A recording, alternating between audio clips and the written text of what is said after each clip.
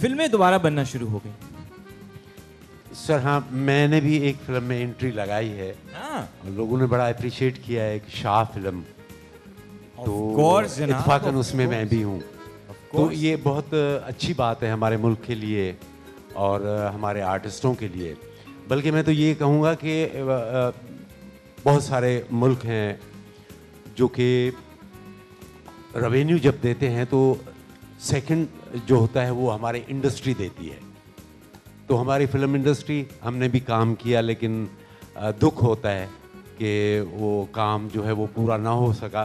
तो हो सकता है अब जो जनरेशन आई है जो आर्टिस्ट आ रहे हैं तो उम्मीद है कोई दोबारा से लाइव ट्रांसमिशन में इस तरह के छोटे छोटे हादसा होते रहते हैं होते रहेंगे। मुझे लग रहा है बहुत जज्बे से पका रही हैं।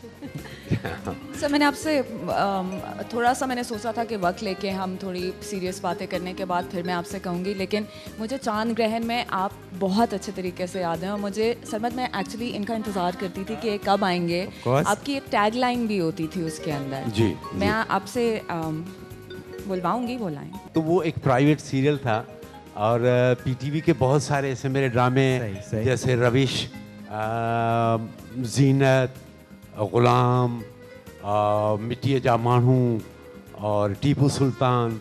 तो उनमें से भी मैं मतलब मेरे जब भी कोई कोशिश करता हूँ तो एक मेरा अ, सीरियल था जैसे रविश है उसमें एक छोटा सा चाकू मेरे हाथ में होता था। तो अ, ये एक हम कहते हैं कि जी तकिया कलाम जो है तो तकिया कलाम अ, आर्टिस्ट को बल्कि सीरियल को अगर वो लोगों को पसंद आ जाए तो फिर वो आर्टिस्ट की मकबूलियत जो होती है वो उसमें होती है।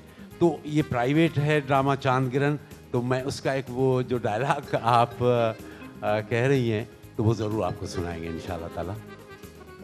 सुना ही दूँ क्या? ज़रूर सुनाइए सर हम तो मुंतजर तो किसको देख के सुना आपको या डॉक्टर साहबा को। जहाँ मेरे सामने एक अ, बहुत अच्छी आर्टिस्ट फरियाल गोहर साहबा होती थी। और अ, जब मैं उसको क्योंकि उसके पीछे ही मेरा पूरा कुछ सब कुछ लुट चुका था। तो जब मैं उसको देखता था और जब मैं आता था उनके यहाँ तो यही होता था कि